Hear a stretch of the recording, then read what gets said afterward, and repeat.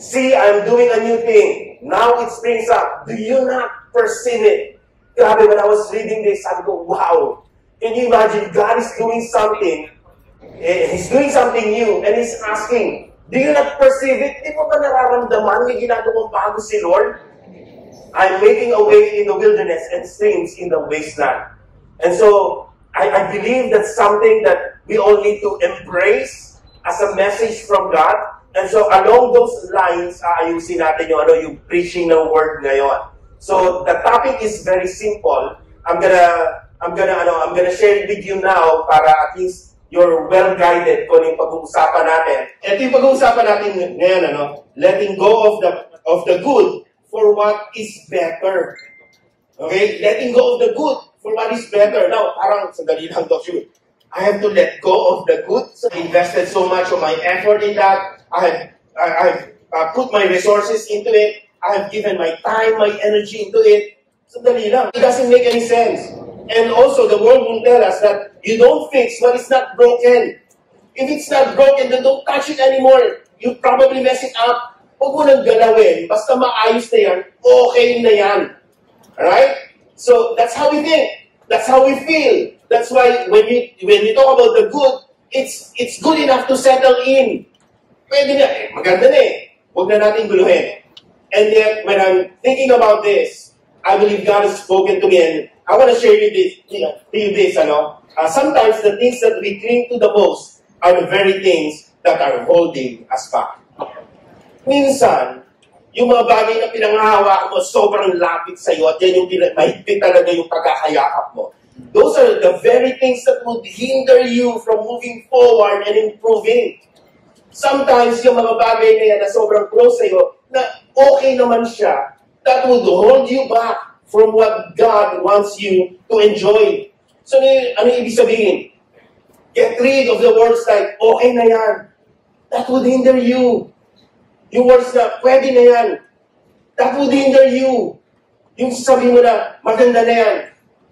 That would hinder you, kapatid. Don't cling into that. Appreciate that. I'm going to talk about that more. But then again, wag mo masyadong, wag mo masyadong ibuhos yung buhay mo dyan kasi may mas gaganda pa dyan. Amen? Okay, tignan mo yung katabi mo, sabi mo sa kanya, mas gaganda pa yung buhay mo. Sige, tignan mo, tignan mo lang siya, kasi sabi mo, may pag-asa pa. Mas gaganda pa ang buhay. Yes. Ang hirap, marami pang igaganda. Para iba na yata ibig sabihin. marami ka pa igaganda. okay. Parang iba yun, ano? Parang nakaka-encourage din naman. Pero parang nakaka-discourage din. Ano? We all want what is good, but please don't settle for what is good. Okay? Another thing that I want to say to you this morning is this. What's good hinders what's better, and certainly makes the best impossible. Sige maigi ah. Yung good na yan, pag nag-settle ka dyan, you'll miss out on what is better. Pag hindi mo ma-reach yung better, all the more, yung best, magiging imposible sa buhay mo. Alright? Parang tahimik kayo ngayon ah. Nag-iisip pa kayo?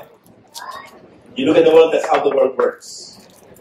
You see, um, sino dito may cellphone? Lahat. Okay, tinitignan ko na kung gising ka, ano? Hindi na, natural, may cellphone ka, di ba? Hindi, ba kayo na, yung parang nakakapagod din, no? Every year, may bagong model ng cellphone. So, ibig sabihin, every year, luma na kagad yung cellphone mo. Di ba, parang kakabili ko lang, tapos, after one year, luma na siya, tapos may mas bago na. If you are a Samsung user, okay, yung Samsung 23 daw, lalabas na. Ba, pwede na raw, well, in the US ha, ewan ko dito sa Pilipinas. By Feb 1, pwede na mag-pre-order. Tapos in-expect nila by Feb 17, lalabas na raw yung bago. Okay, if you're an iPhone user, sometime in September yan kung sila lagi naglalabas. But then again, ano, laging nag-upgrade eh. So, ano ibig sabihin? Okay, again, don't settle for what is good. Remember, okay, just because something is good doesn't necessarily mean that that is the best thing for us. Dahil hindi dahil maganda na yan, yan na yung the best para sa'yo. Kapatid, meron pa yan. May mas gaganda pa dyan. Okay? And now I want to tell you that because That's how the world thinks. Pero when you think about the Bible, when you read the Bible, makikita mo, si Lord ba ganon? Ganon ba siya mag-isip? O baka naman yung okay sa kanya, okay na rin yun, pwede na din talaga. Baka naman yung contentment really means be satisfied with what you have now and then settle with it. Mag-thank you ka na lang, pasalamat ka, meron ka na. Okay? And sometimes, that's the mentality that we have as Christians. Eh, nabless naman na ako eh. Hihingi pa ako. Hingi pa ako ng healing, eh, binigyan na nga ako ng magaling na doktor, okay yung maintenance, wala akong reactions. Baka pwede na rin. And, and sometimes we think that way. Eh, may bahay na nga ako eh. Kibrate ako ng isang bahay, alin ko yun. Eh, may isang sasakyan na nga ako eh. Hihingi pa ako ng isa pang sasakyan. How many of you you'll be leaving for a brand new car?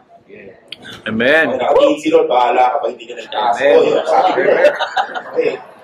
Ayun ka, dalawang kamay kagad. Ano? So I'm talking to the right crowd here. Tamang-tama talaga ito yung kausap ko. Okay, let me tell you something. It is not worldly, worldly to aspire for something that is better. Okay? Tanggalin natin sa isip natin yan. Poverty mentality yun eh.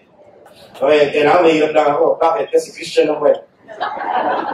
Pwede naman yun. Kung yung Diyos mo, mahirap din. Right? Eh, sino ba yung Diyos mo? Eh, sabi nga yun sa Bible, yung Diyos mo, tatay mo eh. Sino, di, sino dito? Mga tatay. Okay. Kaso kumain, mga tatay. Okay, sino dito, tatay ka, tapos proud na proud ka, tingnan yung mga anak ko, ang papayat yan. Mga patay tutom yan. Pag nasa party, may baon niyang plastic.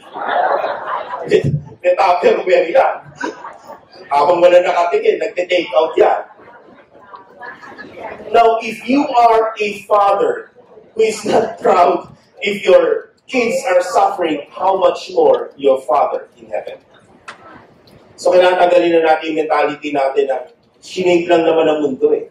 Sino sabi na pag Kristiyano kayo, hindi ka dapat blessed? Now, lagyan natin ng verse para maniwala kayo. Nakakala nyo, binubola ko lang kayo. Second Corinthians chapter 3 verse 18. But we all, with unveiled faces, looking as in, in a mirror at the glory of the Lord, are being transformed in the same glory. From glory to glory, just as from the Lord, the Spirit. That's where we got yung phrase na from glory to glory. That's the desire of God for you. Of course, it talks about that something that is spiritual, that is beyond us. If you want to get the full context, that is the covenant of God. So yung sinasabing glory to glory dito is from one covenant to a better covenant. From the old covenant to the new covenant. Kung gusto mong hatiin from the Old Testament, the, the, the, the uh, previous agreement we have with God to the new agreement, the new relationship that we have with Him. Now, when you talk about a covenant, it's not just about uh, spirituality. Now, show me in the Bible na nagkaroon ng covenant kay God na naganda hirap-hirap yung buhay. Because when God called Abraham, Abraham prospered because of God's presence in his life. You think about Isaac, he also prospered. Think about Jacob. Think about Joseph. Think about the people that followed them. They were prospered by God. Think about the Israelites. Mamaya pag-uusapan natin sila. Saan sila dinala? Sa promised land. Kapatid, hindi sinabi ni Lord, mga slaves kayo, mag-is na lang kayo dyan. Anyway, Christian naman kayo.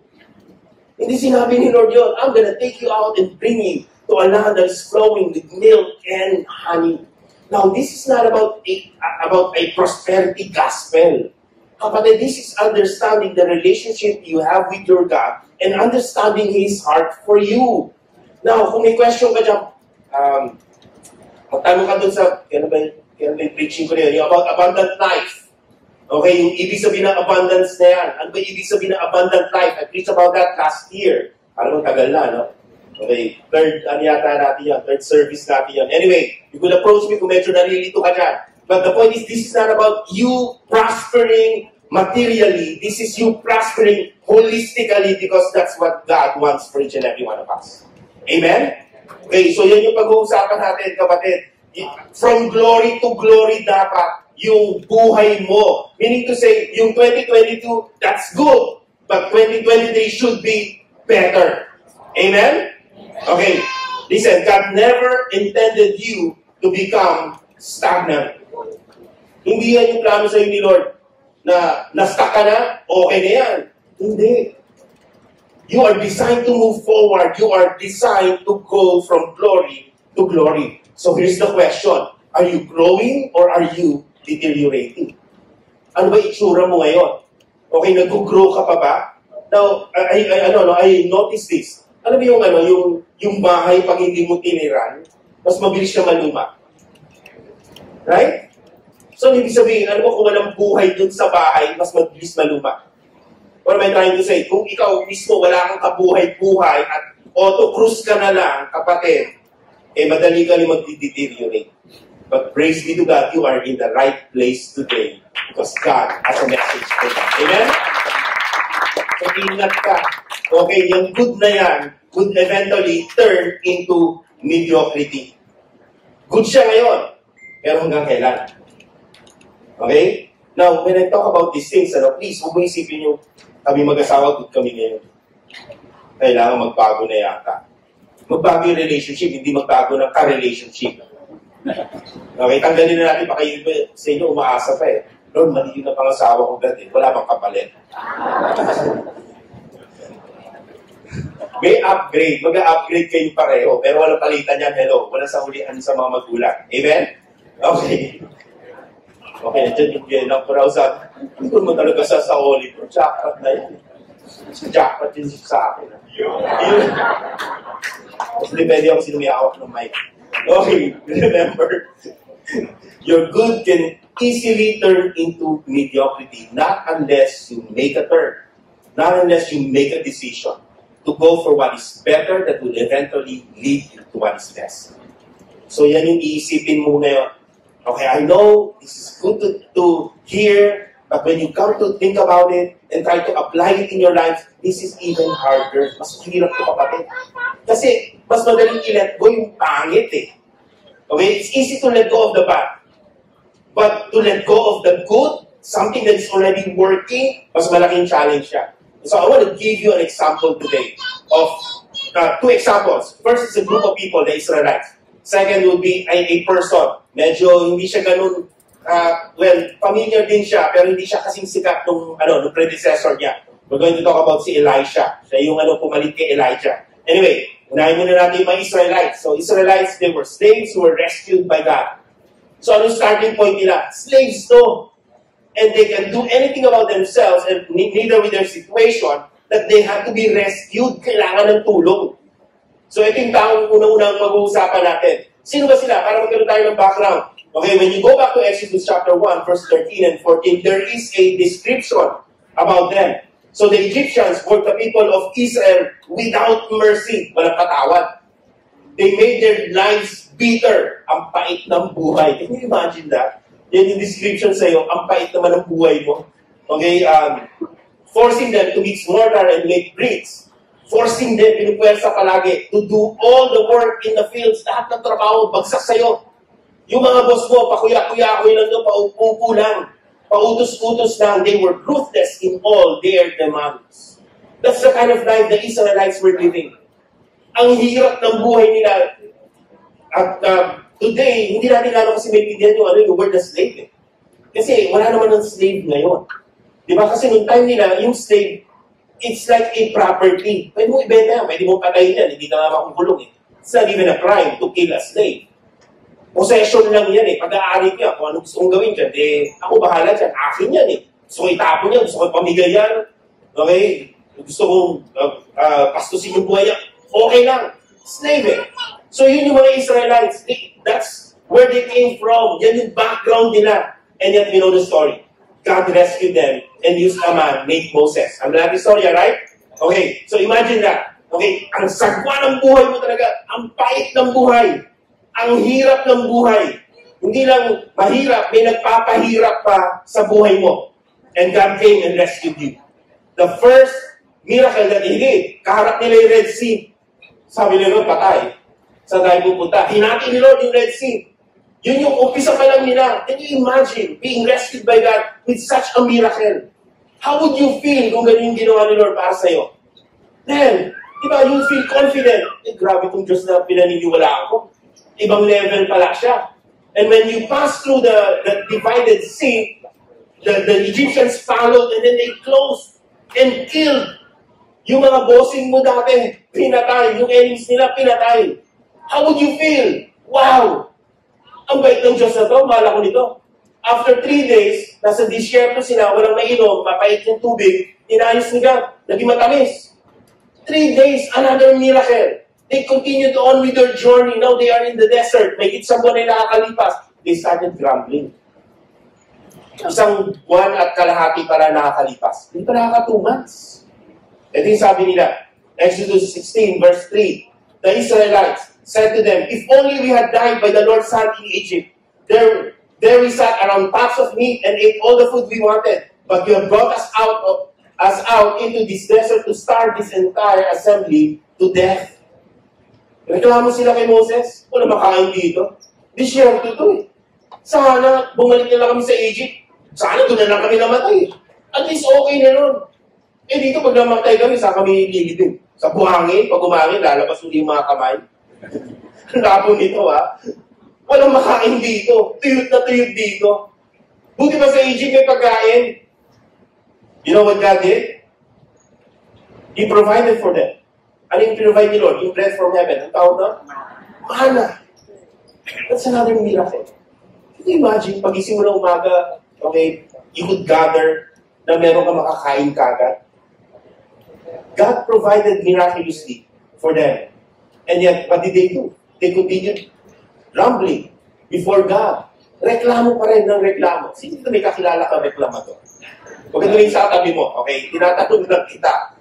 Hindi ko sila, hindi ko tinatanong kung nandito siya, ano? Okay, pero normal sa atin yan, reklamo na reklamo, right? Look at this, okay? Huwag kayo magtuturuan, ha?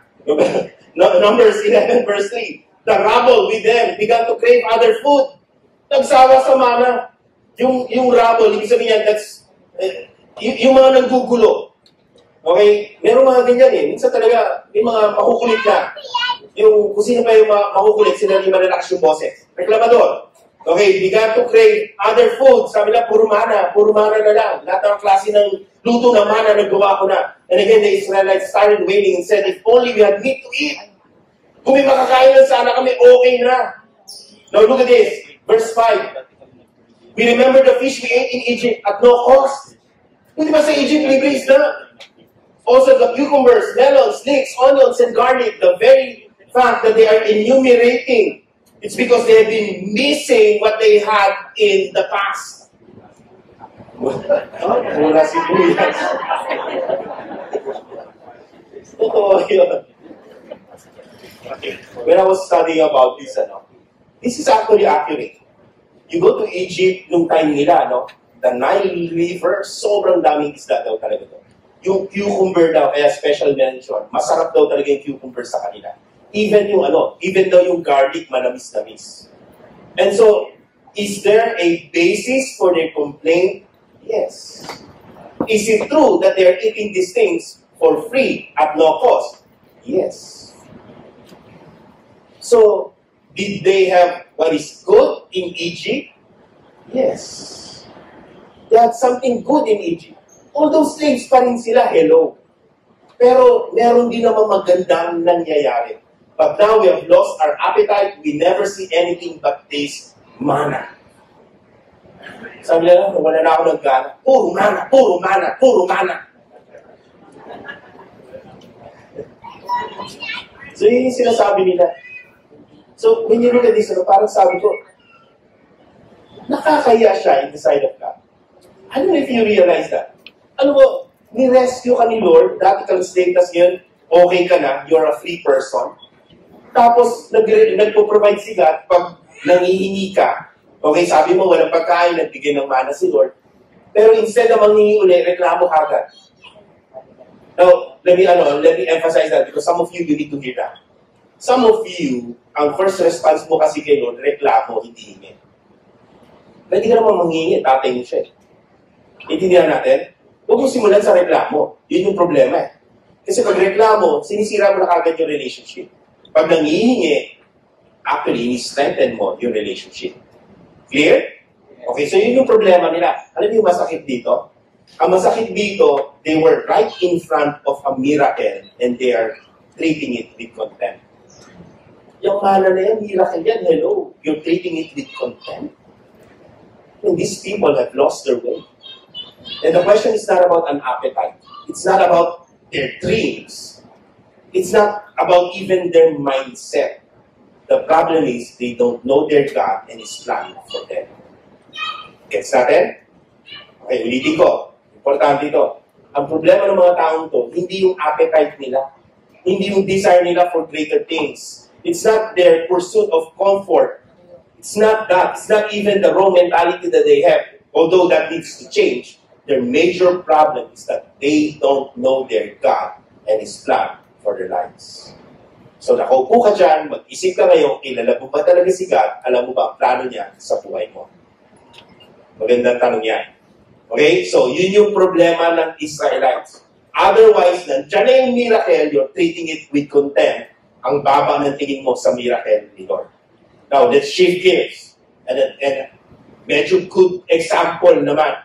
Okay? So, si Elisha. Who is Elisha? Siya yung successor ni, ano, ni Elijah. Okay? Um, uh, kinausap ni Lord si Elijah, punta ka dito sa lugar na to. Hanapin mo yung tao na to. Okay? Uh, siya yung magiging successor mo. And he did. Tingnan natin yung story. First King, uh, chapter 19, verse 19. So Elijah went from there and found Elisha, son of Shaphat. He was uh, plowing with 12 yoke of oxen, and he himself was driving the 12th pair. Elijah went up to him and threw his cloak around him. Babalikan ko yan.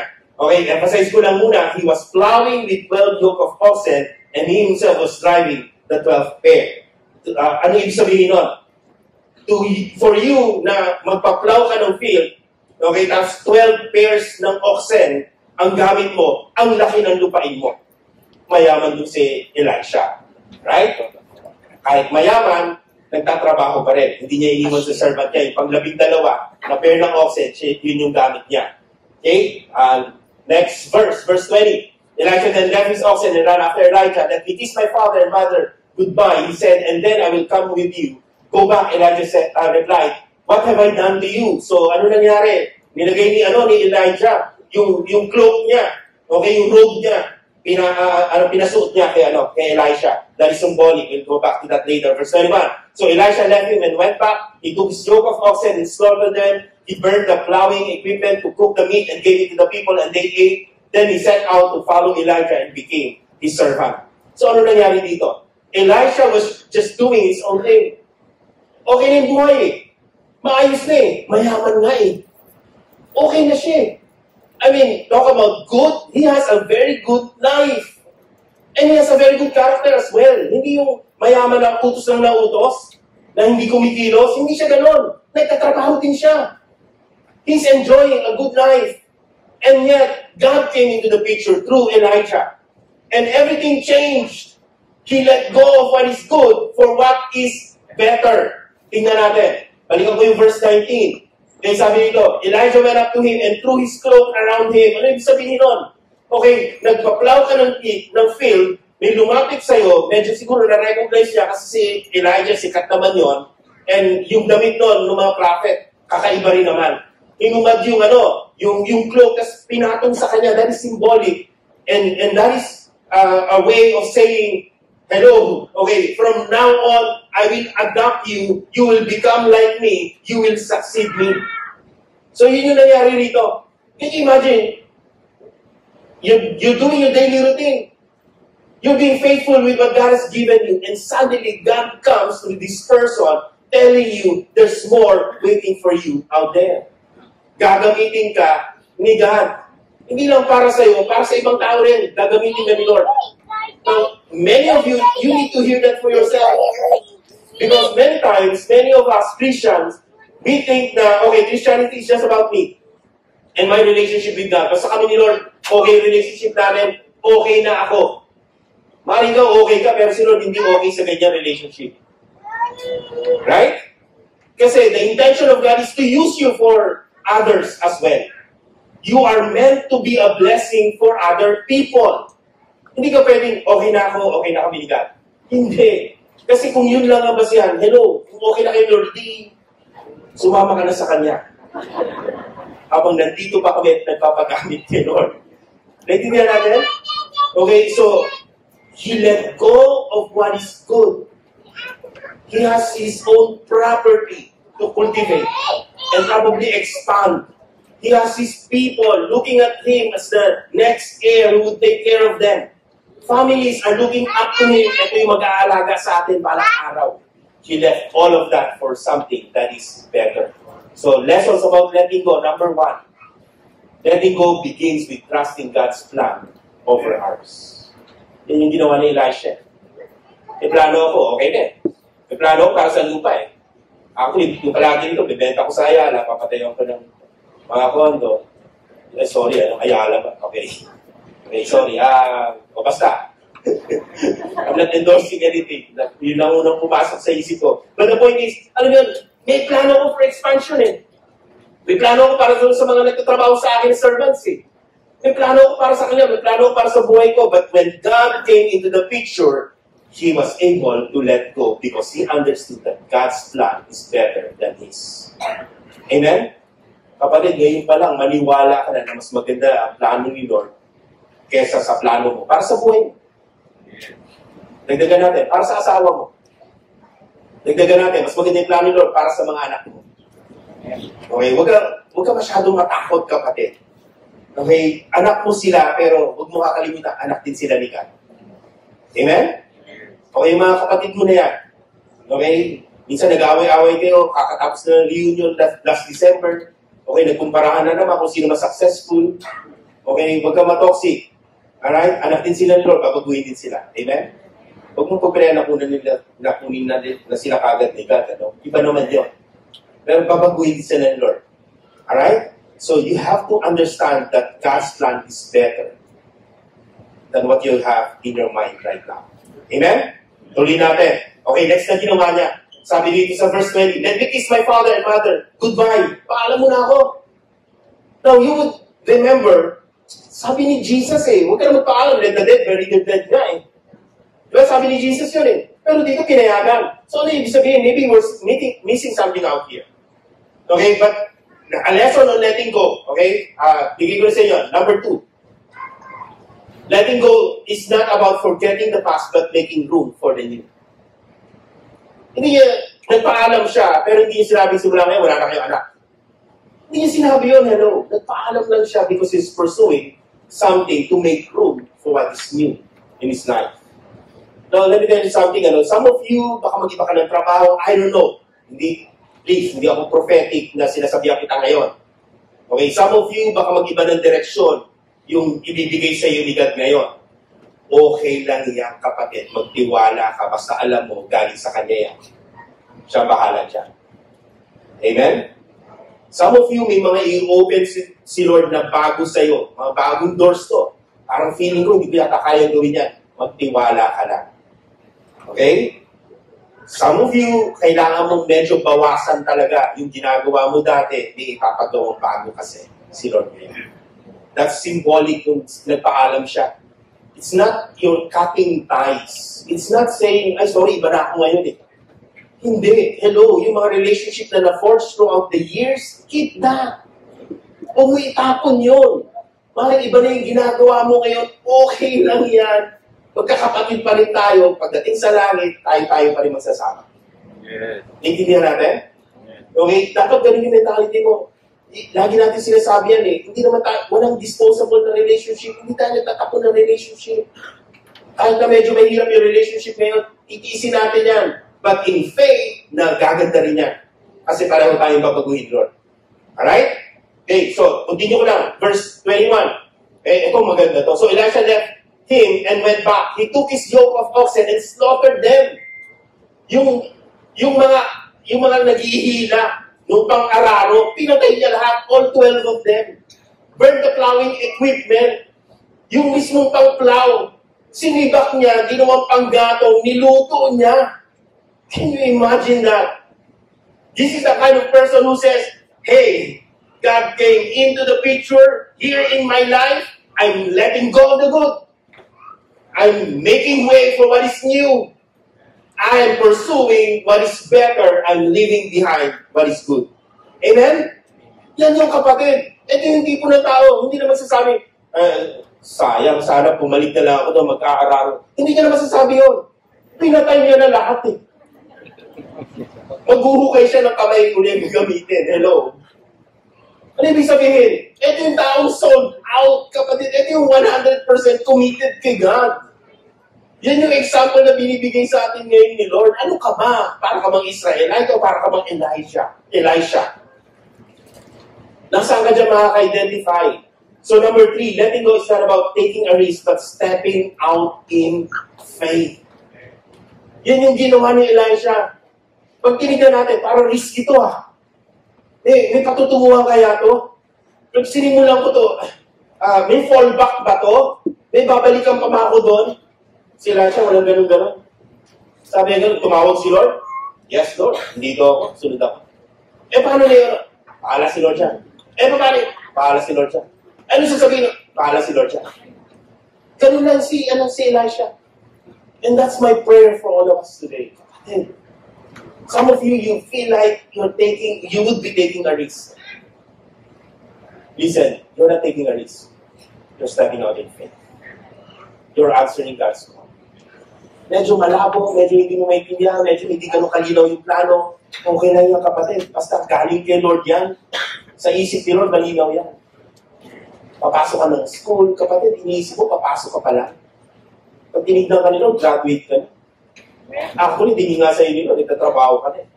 Actually, hindi lang yung trabaho, may pamilya ka na. Actually, hindi lang anak, may ako ka na.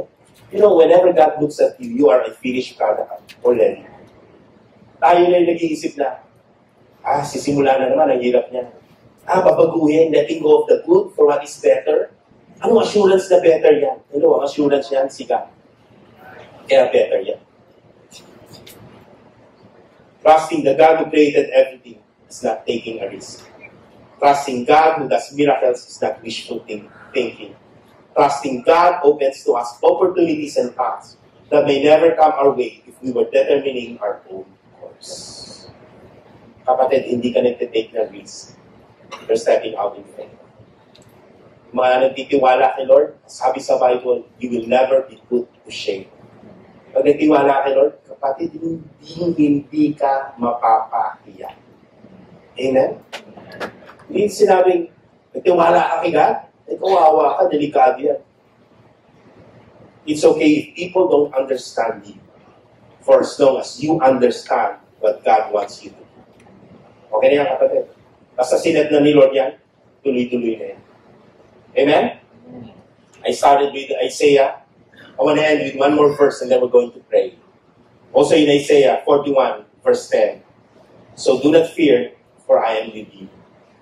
And yung kapatid, eto, kailangan mo i-memorize to. Or at least declare it over your life. So do not fear, for I am with you. Do not be dismayed, for I am your God. I will strengthen you and help you. Can you imagine that for a moment? Sabi sa ni Lord, I will strengthen you. Palakasin kita tulungan kita. Kung feeling mo kulang yung lakas mo, yung ability mo, at tulungan kita. I will uphold you with my righteous right hand. Ano ibig sabihin na ina-uphold? Ibig sabihin, hindi lang yung inaalalayan yan. Ibig sabihin, binubuhat. Sabi nila, buhatin kita. Ako magdadala sa iyo towards the end of this year. Let me jump to verse 12. Though you search for your enemies, you will not find them. those who wage war against you will be as nothing at all. I like that. Yan gusto ko yan. Some people will try to put you down, criticize you. Some people will even go against you. Some people will spread gossips against you. Don't listen to them. Okay lang yan, kapatid. Kalampasin mo lang. Kasi sabi ni Lord, siya yung bahala sa mga kumakalaban sa iyo. Alam mo ba na kung sino kumakalaban sa iyo is also hindering or going against your God? Yan yun eh. Yan yung ibig sabihin ng covenant, kapatid. Ang ibig sabihin ng covenant, yung kaaway mo, kaaway ni God. Yung kaaway ni God, kaaway mo rin. So, ano ibig sabihin? Yung mga nag-hinder sa plano ni Lord sa buhay mo, ay si Lord ang bahala siya. Last verse. Verse 13. For I am the Lord your God who takes hold of your right hand and says to you, Do not fear, I will help you. Kamatakot. Hawak ka ni Lord sa kamay. Huwag kang bibitaw, kapatid. Okay, kapit ka lang sa Kanya. Huwag kang matakot, siya yung tutulong sa'yo. Amen? So again, it's about letting go of the good for what is better. Maring good yan, kapatid. Okay yan. It has been a blessing. But let's move on to a bigger blessing from God. Bitawan mo na yan, kapit ka lang kay Lord. Kung gusto mo ng Tagalog. okay, bitawan mo yan, kapit ka lang kay Lord. Amen? Think about this, kapatid. Kaka, well, 8 days. Ang bilis ng panahon, ano? Nakaka 8 days na tayo ng 2023. Again, ano, parang yung iba sa atin, ngayon pa lang mag-start magplano, yung iba sa atin, ngayon pa lang mag-start mag-dream, whatever. You know what? God already has a picture in His mind how you should look like by 20, by the end of 2023. Alam na nila kung ano dapat na itsura mo. Ang ganda ng plano niya sa'yo. Please don't miss it out. Amen? There's a better version of you waiting from the heart of God. Ang tanong lang kapatid, ready ka ba? To let go. Hold on to God for what's better for you. Other hand, close your eyes. We're going to pray together. Lord, salamat Panginoon sa oras na binigay mo sa amin. Thank you God for His time. Thank you for reminding us, God, that you have plans for each and every one of us. Panginoon, ganda ng plano mo sa bawat isa sa amin. Though we're not living as if we're just cruising, Lord God, na parang basta buhay na, tuloy lang kung ano yung sinimulan last year, kung ano yung plano years before, basta tuloy-tuloy lang. God, today, we are approaching your throne of grace and we're asking, Lord, what's new? God, ano yung bago? Ano yung gagawin mong bago para sa akin, God? Lord, ano yung ano yung i-reveal mong bago? Ano yung papagawa mo sa akin bago? Lord, sino mga tao yung dadali ko sa buhay ko na bago na naman, Panginoon? Lord, thank you, Lord God, because your desire for us is from glory to glory, God. We are grateful for the past, but we are excited for the future that comes from you. God, we trust you today. We choose your plans over ours. And God, speak to each and every one of us. Lord, kung ano yung dapat magbago, baguhin mo. Lord, you're doing something new. God, I pray that we won't miss it, Lord. Lord, God forbid that we would miss it, God. Sayang naman, Panginoon, kung mapalampas namin yung plano namin sa buhay. Yung plano mo sa buhay namin. God, huwag mo hayaan lumampas ka. Lord, speak to us even right now. Speak to us. God, kausapin mo kami. Lord, anong plano mo sa akin? Anong plano mo sa aming mag-asawa? God, anong plano mo sa pamilya namin, Lord, sa mga anak namin? Lord, anong, anong plano mo sa trabaho ko, God? Lord, anong plano mo sa relationship ko? God, anong plano mo sa akin bilang Kristiyano, a member of the church? Anong plano mo sa akin, Lord? Speak to us. Or minister to us as well. God, for some of us, medyo natatakot kami, meron kaming fear, meron kaming kinakaharap na problema, dala namin from the past years, we choose to trust you. You have what's best for us, Lord. Galing sa kamay yan. Nasa puso mo yan, Panginoon. Lagi mong iniisip yan para sa amin. We are here to receive it. Salamat. Give you time to pray on your own. Isal ka lang, kapatid. Tawag ka sa kanya, tatay mo siya.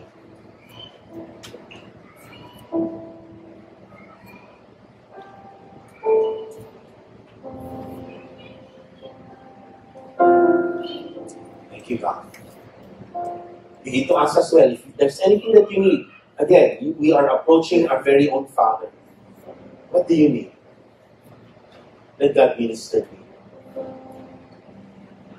Don't start with a complaint. Begin with a prayer request. You're talking to your Father in heaven. Huwag reklamo. Manghingi ka muna. You need healing? Ask God for healing. Maybe it's not for you, maybe it's for a friend or a relative. Ask it anyway. You need provision? Your Father in heaven holds the heavens and the earth. Let God provide for you. Kung problema ka, you need peace in your heart and in your mind. Hindi ka makatulog. Let God grant you peace. Whatever you need, come before Him. Ask Him. He's here right now with us. Hindi totoo yung tatay mo sa'yo. Nakapit ka lang. Thank you, God. Thank you, Lord, for your great love.